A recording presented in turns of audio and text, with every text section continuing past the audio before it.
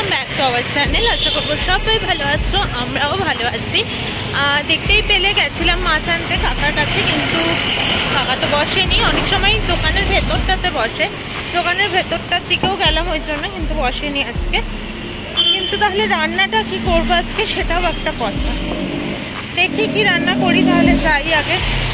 একবার ভাবছি নান্দুজে গিয়েও দেখা যায়, কিন্তু এখন বাজে হচ্ছে দশটা তিন। আশা করি নান্দুজে মাছের গাড়ি ঢুকে গেছে। নান্দুজটা বাড়ি থেকে কাছে, তাও কাকার কাছেই গেছিলাম। আসলে নান্দুজে না, বরফ চাপা দিয়ে অনেক সময় মাছ রেখে দেয়। ওর জন্যই প্রবলেম দেখি, সামনে সবজির দোকানটা যদি না খোলা পাই, তাহলে চলে যাব।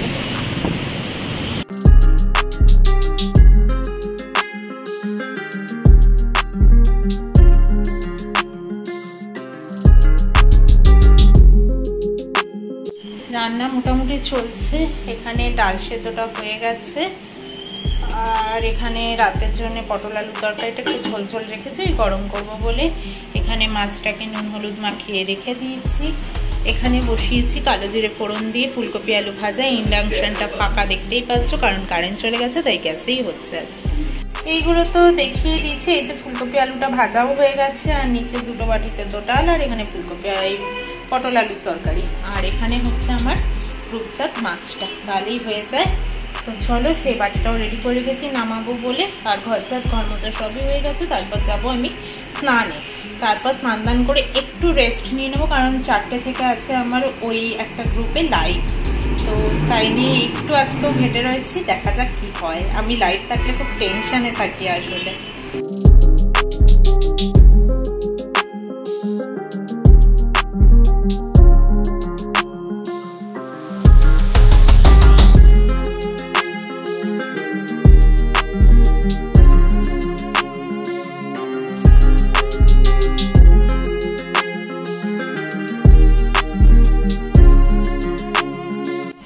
লাইভটা শেষ করে এই জাস্ট লিপস্টিক কাজল সব উঠিয়ে টুটিয়ে যাচ্ছে একটু ছাদে। ছাদের মুখ দেখে নি বোধহয় আমার, বহু দিন হয়ে গেছে। যদি ছাদে এসে কোনো লাভ নেই, এত জামা কাপড় মেলা থাকে চারটায় যে ছাদের মজাটাই পুরো নষ্ট হয়ে যায়। আর এত হাওয়া, এত বৃষ্টি না, তাই জন্য ছাদে ঠিক আসাও যায় না। দেখো অবস্থা ছাদটা কি বলবে? আর ওপরের ছাদে আজকে যাব না, কারণ কখন আবার বৃষ্টি চলে আসবে, তাড়াহুড়ো করে এই সিঁড়িটা দিয়ে নামা যায় না। তো এখানটায় দাঁড়ায় একটু আর পড়ছে বৃষ্টিও, যেহেতু এখানে মাথার ওপর শেডটা রয়েছে, তাই জন্য ঠিক আছে। তো এই দিকের মানি প্ল্যান্টটা দেখো, এই ঘরের মানি প্ল্যান্টটা দেখো। এই দিক দিয়ে, দুদিক দিয়ে বাইয়ে দিচ্ছে, বেশ ভালো লাগছে দেখতে। খুব সুন্দর লাগছে দেখতে।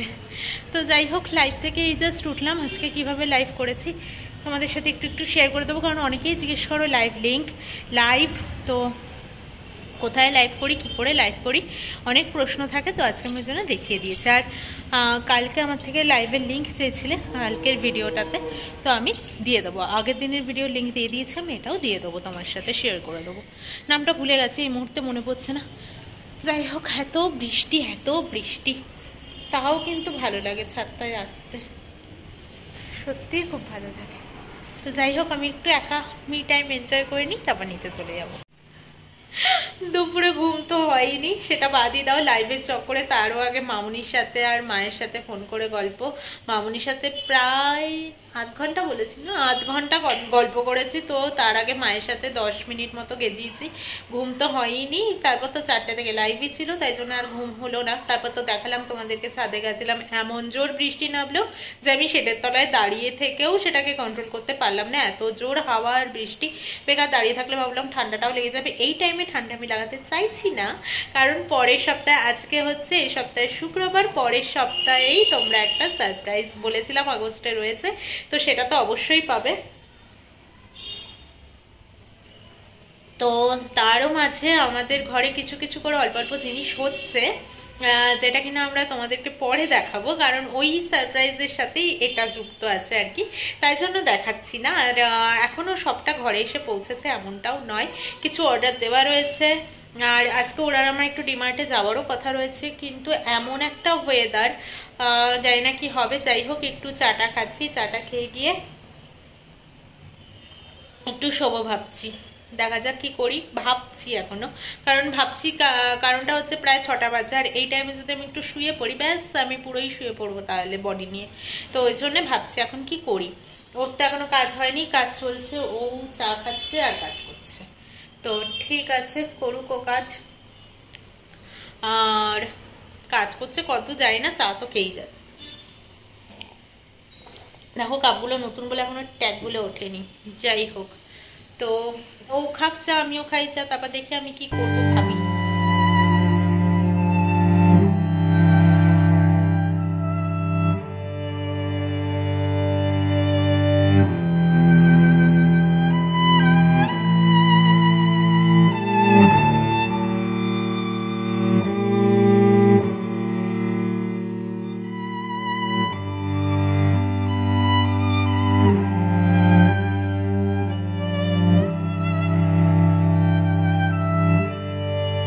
ওর এই জাস্ট কাজ শেষ হলো, এখন বাজে পৌনে আটটা, দেখতে পাচ্ছ কি? এই হাতে চারটে পড়েছি।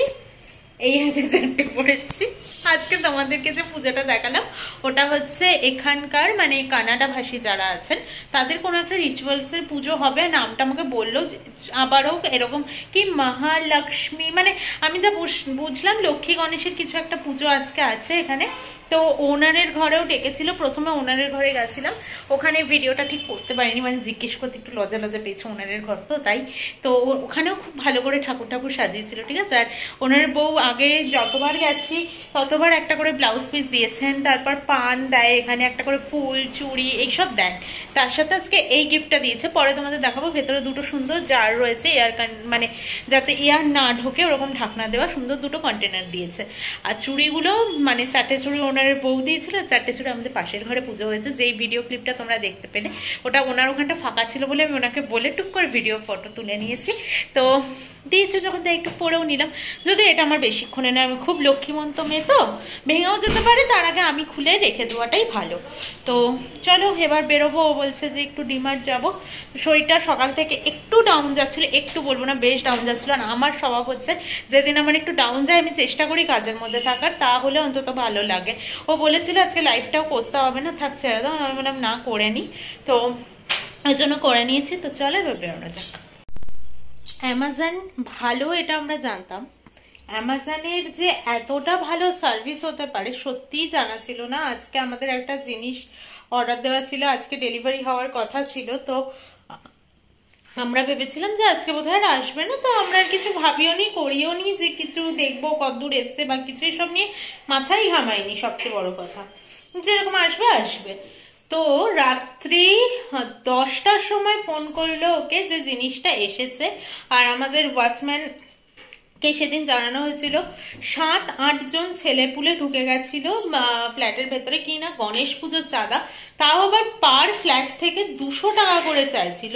আমাদের সি ওয়ানে একজন এসেছেন তো তিনি একশো টাকা দিতে চেয়েছেন, কিছুতেই নেবে না। তো সেটা নিয়ে ওয়াচম্যানকে বলা হয়েছিল। উনি বলেছেন যে, আমার নাকি, ওনার নাকি স্কুটি খারাপ হয়ে গেছিল, তাই সারাতে গিয়েছিলেন। জানা নেই আমার, ডিউটির মাঝে কে এরকম ভাবে চলে যায়, তো যাই হোক না কেন। তো পরে ওনারকে বলা হয়েছিল, ওনার বলেছে, আমি দেখছি। ওয়াচম্যানকে কিছু বললেই মানে ওনারকে কমপ্লেন করার পরে ওয়াচম্যানকে কিছু বললেই তার পরিপ্রেক্ষিতে উনি এত বেশি বেশি বাড়াবাড়ি করে ফেলে, যেরকম আমরা গ্যারেজের সামনে থেকে গাড়ি সরাতে বলেছিলাম, সেটা ওনারকে বলেছিলাম মানে মানে এমন জায়গাতেই গাড়িগুলো পার্ক করতো যে আমরাই আমাদের ফ্ল্যাটে গ্যারেজে গাড়ি ঢোকাতে পারতাম না। সেটা ওয়াচম্যানের দেখার কথা যে ফ্ল্যাটের গ্যারেজের গেটের সামনে যেন কেউ গাড়ি না রাখে, তো সেটা তিনি দেখতেন না, কোথায় চলে যেতেন জানি না।